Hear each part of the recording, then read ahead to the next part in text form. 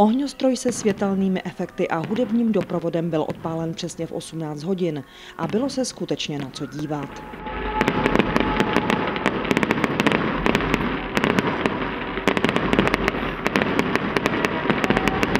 Jedinečná multimediální show s důrazem na sugestivní sladění hudby s ohňostrojovou kompozicí ohromila hradečany, kteří se přišli na Velké náměstí podívat.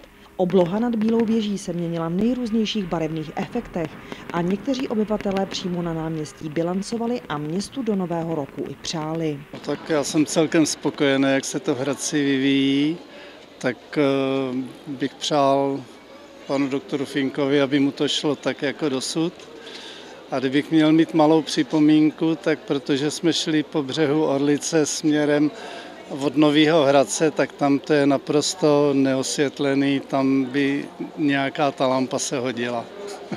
Jak v Hradci jste ve skrze spokojená? Nebo No, to jsem spokojená, ano. Tradiční novoroční program na Velkém náměstí má v Hradci Králové dlouholetou tradici a je velmi oblíbený. Zatímco některá města ohňostroje zcela zrušila nebo výrazně utlumila, Hradec Králové kvůli oblíbenosti této akce zatím k této variantě nesáhl.